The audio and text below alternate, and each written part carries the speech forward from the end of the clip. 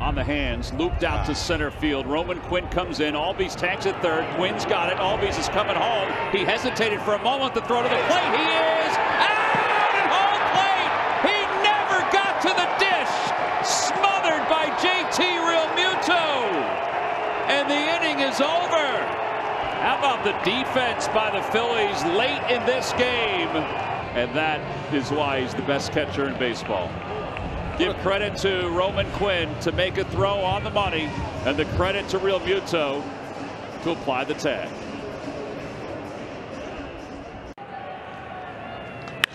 And the line drive to center field. Roman Quinn makes the diving grab. Again, another ball hit hard by Longoria.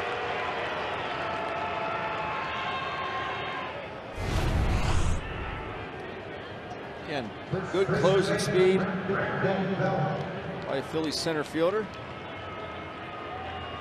But yeah, you're right. Longoria's swing is years of frustration after the World Series title a number of years ago, 2015. Hit back. That's hit hard and into the gap in right center field. Quinn can run. He's going to get into third base easily on this ball. An RBI triple for Roman Quinn. It's an 8 to 5 ball game. Just a rocket here from Quinn. Best swing of the night, maybe the best swing of the season for him. Head down in the exit velo. Didi scores easily, and Quinn puts him up and picks him down. Fly ball left center field, slicing away from Cain, and it's going to get past him and one hop the wall. It goes off the tip of his glove. A run will score. Quinn is flying to third, and he's there sliding. Three to one Phillies. It's a thing of beauty. You try and pull that sinker, I guarantee you, guarantee you, Tom, it's a rollover to second base every time. And if anybody can get this ball, it's Lorenzo Cain. He's not even close to it.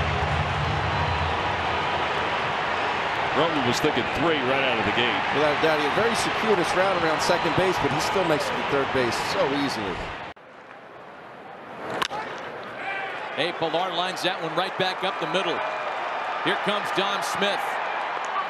Throw to the plate is in time to get him. I mean, a lot to unpack here. Quinn with the great approach and the throw, but focus on how he attacks this baseball with his footwork. Comes at it, goes through it, through Hoskins, perfect cutoff man, holds the runner at first base, and then the gold glover with the perfect tag at the plate. Perfect throw and the tag. Again, the footwork and the perfect throw. And sometimes, Matty, when an offense struggles, is not does not affect just the hitters. It affects the coaches.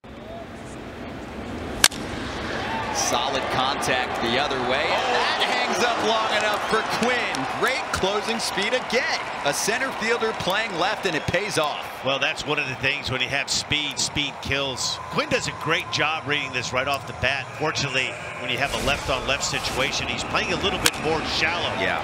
This he sells out for right here. It can be a little bit of a risky play if this ball gets by. It's at least two and probably three as well as Diaz runs, but a great play, and Suarez loves it.